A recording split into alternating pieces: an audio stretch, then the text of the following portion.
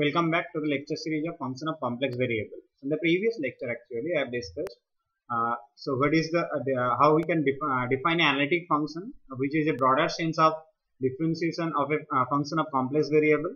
Then I have discussed what are the necessary and sufficient conditions for a function to be analytic. Then I have discussed how we can represent the derivative of a complex valued function by virtue of the partial derivative and I have discussed the related problems. So in this lecture, I am going to discuss one example corresponding to the analytic function.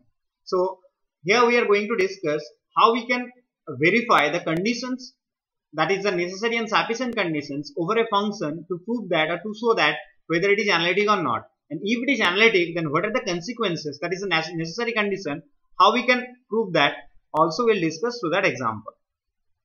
So what is the example? So uh, before that, first I need to discuss what is the necessary and sufficient condition that I have already discussed in the previous lecture. So what is the sufficient condition? That means what are the conditions for arbitrary function to be analytic? So the first of all, the Cauchy-Riemann equation must be satisfied as well as the first order uh, derivative should have the continue, uh, continuity in that particular domain. Then only we'll say that the function is analytic. And similarly, if the function is analytic, then these conditions will be satisfied. So here for the sufficient condition part, both these criteria should be satisfied. That means if the function satisfies the Cauchy-Riemann equation, but the first order partial derivatives are not continuous, then the function may not be analytic. So I have discussed this problem here. So both the conditions must be satisfied, otherwise this will not be analytic. So for this given function fz that is defined by x cube into 1 plus i minus y cube into 1 minus i by x square plus y square whenever z is not equals to 0 and f0 equals to 0 whenever z is 0. So here we'll show that although this satisfies the Cauchy-Riemann equation at origin but the function is not differentiable. So it is not differentiable that means it is not analytic. So since it is it is satisfying the Cauchy-Riemann equation but here we can show that the first order partial derivatives are not continuous. So the function will not be analytic. So if we simplify the real part and imaginary part of the given function and break this in the form of u plus iv, then fz can be written in the form of x cube minus y cube plus i into x cube plus y cube by x square plus y square. So what is u our? So what is u here? So u is x cube minus y cube by x square plus y square and v is cube plus y, y cube by x square plus y square. That is our u and v. So here if you do the partial first order partial derivative, you will find that at the point 0, 0, that means at origin, it is not continuous. The first order partial derivatives will not be continuous. You can find out the uh, partial derivative del u del x and uh, del u del y, del v del x and del v del y by using the quotient rule of differentiation, quotient rule of partial differentiation. And here you can verify that the partial derivatives will not be continuous at the point 0, 0. But it will it will be satisfying the Cauchy-Riemann equation at origin. That's why since the second condition is not satisfied here, so the derivative will not be available here at z equals to 0.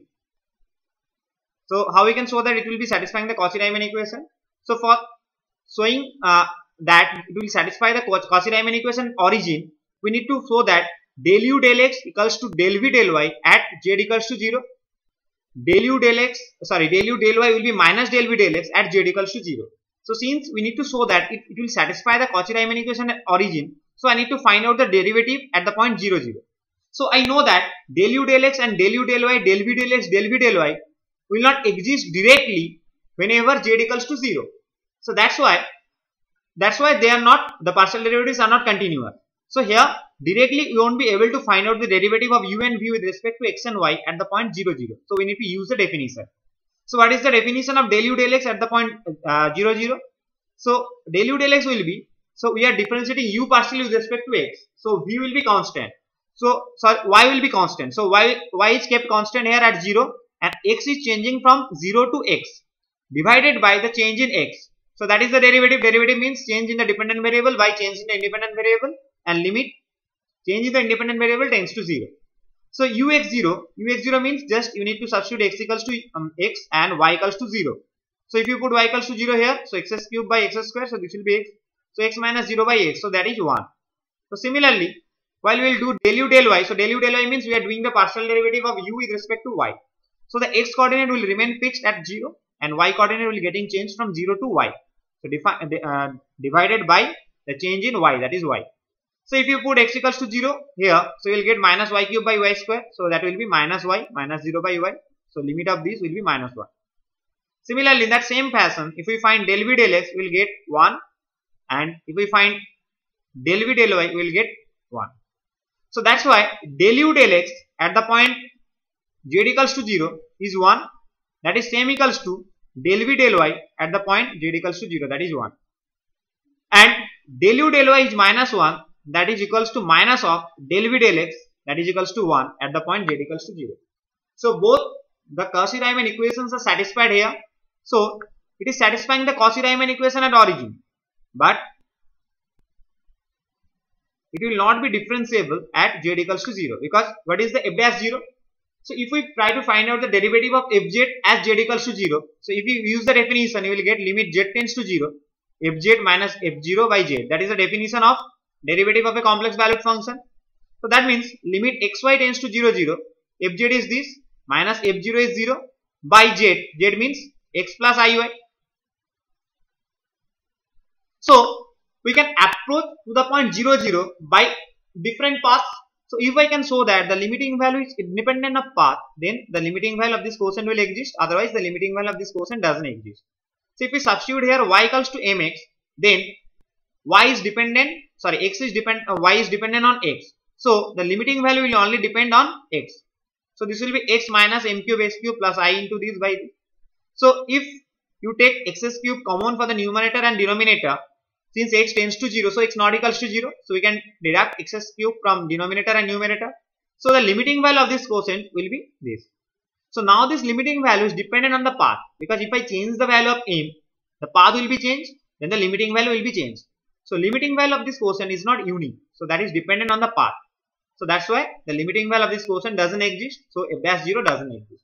So from here, we can easily verify that for a function to be analytic, both these conditions must be satisfied. That means is satisfying the Cauchy-Riemann equation, the partial derivatives of uh, the real part and imaginary part of fz, but they are not continuous at 0.